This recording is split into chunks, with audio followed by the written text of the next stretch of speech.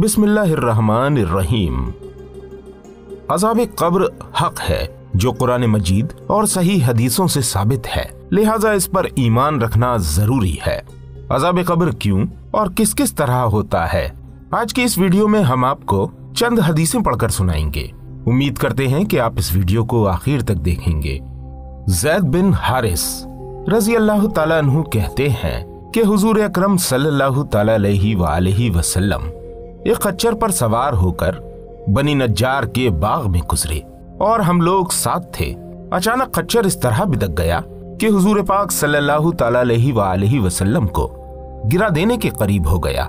अचानक वहाँ छह या पाँच कब्रें नज़र आईं।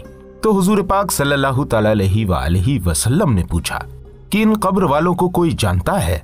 तो एक सहाबी ने कहा कि जी हाँ मुझे मालूम है, ये उन मुशरकिन की कब्रें हैं। जो शिरक की हालत में मर गए। तो हुजूर पाक सल्लल्लाहु अलैहि वसल्लम ने फरमाया कि इन कब्र वालों की जमात अपनी कब्रों के अंदर अजाब में मुबतला है।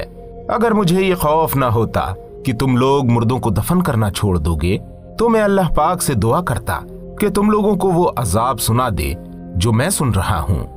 फिर हजूर पाक सल्लल्लाहु अलैहि वसल्लम हम लोगों की तरफ़ अपना चेहरा अनवर करके मुतवज्जे हुए और फरमाया कि सब लोग जहन्नम के अजाब से पनाह मांगो। तो हम लोगों ने कहा कि हम जहन्नम से अल्लाह की पनाह तलब करते हैं। फिर फरमाया कि तुम सब लोग कब्र के अजाब से पनाह मांगो।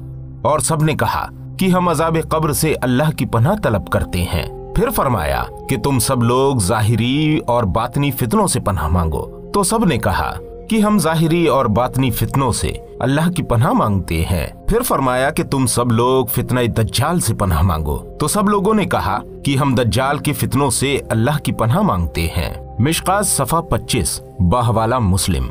दूसरी हदीस, हज़रत बरा बिन आजिब रज़ी अल्लाह तु रिवायत करते हैं कि रसूलुल्लाह सल्लल्लाहु अलैहि वसल्लम ने फरमाया कि कब्र में दो फरिश्ते, मुनकर और नकीर आते हैं और मैयत को बैठाकर उससे सवाल करते हैं कि तेरा रब कौन है?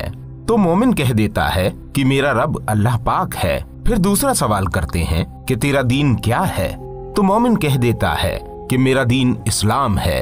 फिर तीसरा सवाल करते हैं कि ये मर्द कौन है जो तुम्हारी तरफ़ भेजे गए? तो मोमिन कह देता है कि ये रसूलुल्लाह सल्लल्लाहु अलैहि वसल्लम है।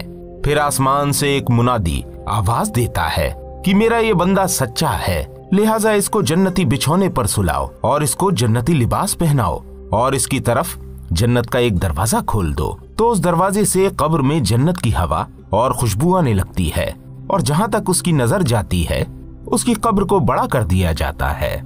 और काफिर से जब मुनकर और नकीर सवाल करते हैं कि, तेरा रब कौन है? तो वो कहता है कि, हाय हाय, मैं तो कुछ नहीं जानता। फिर पूछते हैं कि, तेरा दीन क्या है? तो वो कहता है हाय हाय, मैं तो कुछ नहीं जानता।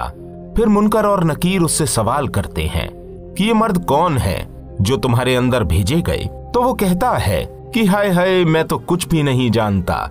उसके बाद आसमान से एक फरिश्ता पुकारता है कि ये झूठा है। लिहाजा इसके लिए जहन्नम का बिस्तर बिछाओ और इसको जहन्नमी लिबास पहनाओ और इसकी तरफ़ जहन्नम का एक दरवाज़ा खोल दो। तो उस दरवाजे से जहन्नम की गर्मी और गर्म हवा और बदबू कब्र में आती रहती है, और उसकी कब्र इस कदर तंग कर दी जाती है कि मैयत की दाहिनी पसलियाँ बाई तरफ़ और बाई पसलियाँ दाहिनी तरफ़ हो जाती हैं, और उसके ऊपर एक अंधा बहरा फरिश्ता लोहे के एक ऐसे गुर्स के साथ मुसलत कर दिया जाता है कि वो उस गुर्स से पहाड़ को मारे तो पहाड़ मिट्टी होकर बिखर जाए। उसी गुर्स से वो फरिश्ता अजाब उस मुर्दे को ऐसी मार मारता है कि मशरक और मगरब की, हर मखलूक सिवाय इंसानों और जिन्नातों के, सब उस मार को सुनते हैं। तीसरी हदीस, हज़रत अबू सईद खुदरी रज़ी अल्लाह तु से रिवायत है कि रसूलुल्लाह सल्लल्लाहु अलैहि वसल्लम ने इरशाद फरमाया कि काफिर की कब्र में निन्यानवे अजदहे मुसलत कर दिए जाते हैं और उसको काटते और डसते रहते हैं। यहाँ तक कि कयामत कायम हो जाए और वो इतने जहरीले हैं कि अगर उनमें से एक अजदहा एक मरतबा ज़मीन पर फूक मारते तो ज़मीन कभी सब्ज़ी ना उगाए। मिशकात शरीफ, सफ़ा बाईस, हदीस नंबर चार, हज़रत जाबिर रज़ी अल्लाह तु बयान करते हैं कि हम लोग हज़रत साद बिन मुआज रज़ी अल्लाह तु के दफन में गए, जब हुजूर पाक सल्लल्लाहु अलैहि वसल्लम नमाज़ जनाजा पढ़ा चुके और वो कब्र में उतारे गए और मिट्टी बराबर कर दी गई तो हुजूर पाक सल्लल्लाहु वसल्लम ने तस्बीह पढ़ी और हम लोग भी देर तक तस्बीह पढ़ते रहे। फिर हुजूर पाक सल्लल्लाहु वसल्लम ने तकबीर पढ़ी और हम भी देर तक तकबीर पढ़ते रहे। तो किसी ने अर्ज़ किया कि, या रसूलुल्लाह, सल्लल्लाहु अलैहि वसल्लम, आप सल्लल्लाहु वसल्लम ने तस्बी और तकबीर क्यों पढ़ी? इस पर हुजूर पाक सल्लल्लाहु अलैहि वसल्लम ने इरशाद फरमाया कि इस बंदा सालेह पर इसकी कब्र तंग हो गई थी। यहाँ तक कि अल्लाह पाक ने कुशादा फरमा दी। मिशका शरीफ, सफ़ा नंबर 26 हदीस नंबर पाँच। हज़रत अनस रज़ी अल्लाह तु कहते हैं कि हुजूर सल्लल्लाहु अलैहि वसल्लम अपनी साहिबजादी बीबी जैनब रज़ी अल्लाह तला के दफन में तशरीफ़ ले गए और वो बकसरत बीमार हुआ करती थीं।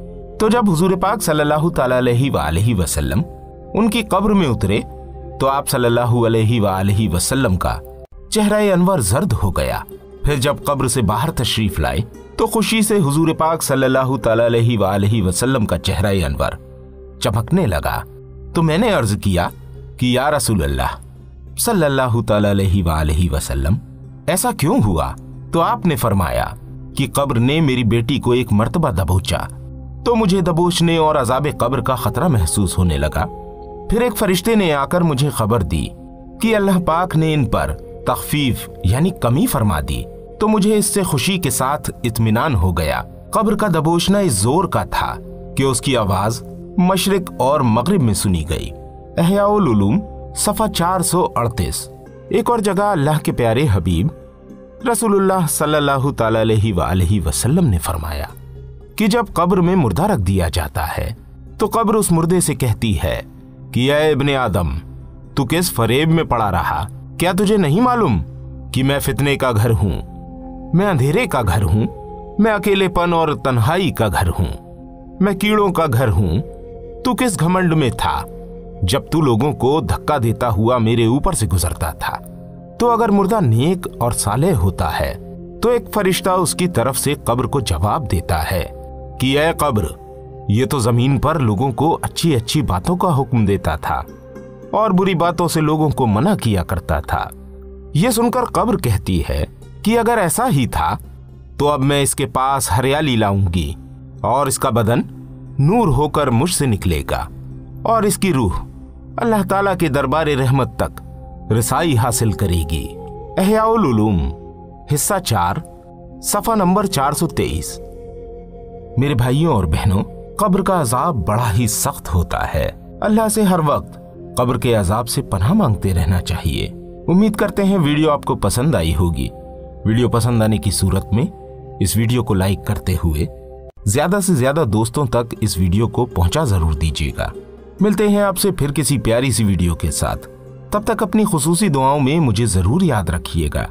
असलकम वरहमतुल्लाहि वबरकातुहू।